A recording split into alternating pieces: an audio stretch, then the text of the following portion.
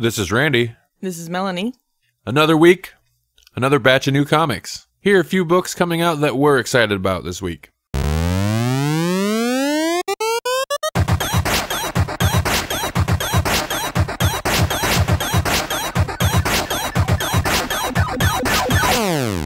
For my pick this week is Convergence.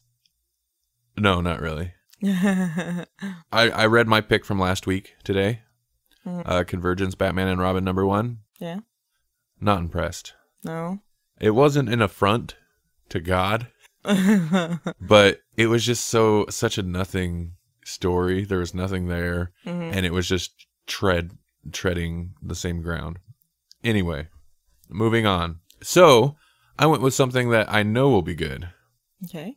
Revival number 29, written by Tim Seeley, art by Mike Norton, and uh, Jenny Frison by Image Comics. Solicit state everything changes in the blink of an eye, mysteries revealed. Short and sweet and uh enticing. Yeah. I'll be honest, I'm a couple issues behind, but this series has been consistently good. I mean, occasionally it's kind of just treads water for, at times, but uh, it's still an interesting story. Uh, the artwork, this is one of my favorite. Like the artwork is stand out in this series. I think this it looks great all the time. But yeah, this is just generally a, a fantastic series. And plus with with the mysteries revealed, I mean, geez, you have to be excited for it. Yeah, there's a lot of mysteries to be revealed. And my pick for this week is American Vampire Second Cycle number seven by Scott Snyder and uh, Rafael Albuquerque. The Solicits State? Well, because I always say the solicits say, and I notice you make a point of saying the solicits read, and you always like stress it like that. Uh-huh. I get it. The solicits don't say anything. Okay. I'll say it the normal way I normally, normally say it then. the solicits read The Cold War is heating up. It's red buttons, nuclear silos, and a race against destruction.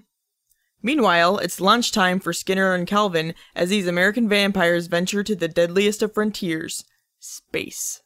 How can you not be excited about vampires in space? I'm very excited about it. Yeah, me too. The number one I picked this week is The Tithe, number one.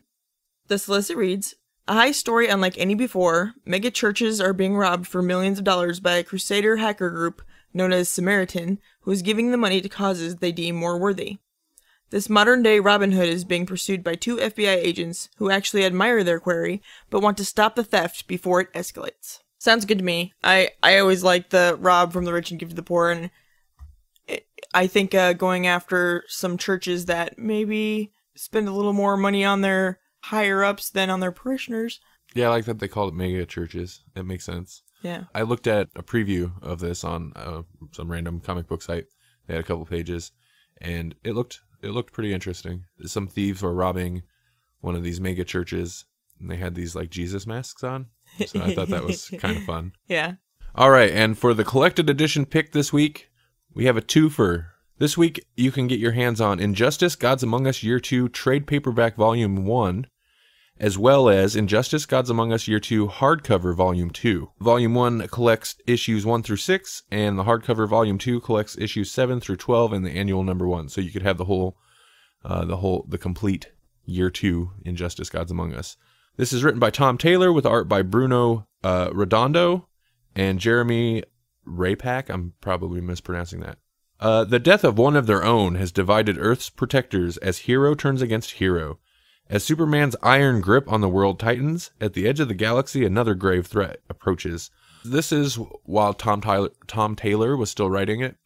Um, he started, you know, writing it at the beginning, and I kind of credit this series' popularity to the quality of writing. He's been killing it since, you know, year one. And they've since switched writers to someone else who's notable. Brian Buccellato, maybe. Anyway, I was sad that he was he left the book because he does such a good job. Um, this is the second year they they split each year up, uh, which is kind of an interesting way to do a series. I think in general, this has been really good. It's it, you know it's like an alternate DC universe story in which Superman goes bad and it's pretty hardcore. But really, what really sells this series is, like I said, the writing has been pretty fantastic. It's a digital first series. Um, but I've been buying the physical single issues as they come out. Between these two, you could get your hands on all of uh, year two in one go. So Mhm. definitely worth your time. It's an interesting read. And this is something that's been said about it several times. But it the series is so much better than a series based on a video game should be. Oh yeah, for sure. Yeah. Generally, you know, those don't turn out too well. Fun game. I played through the story mode in the game. Uh, the story, the storyline in the video game has nothing on the storyline in the comic. The comics is so much better. Check it out. That's it for our comic picks. Week of April 15th, 2015. Thank you for watching. Let us know in the comments below what books you're excited for, what you're going to pick up this Wednesday. Like and subscribe, and check us out on grawlixpodcast.com to listen to our podcast. We have the full list of what's coming out, the full new comics books release list for every week. So you can check that out on the website. and lots of other little interesting ditties. He? I don't know. Yeah. It's like a song. Yeah.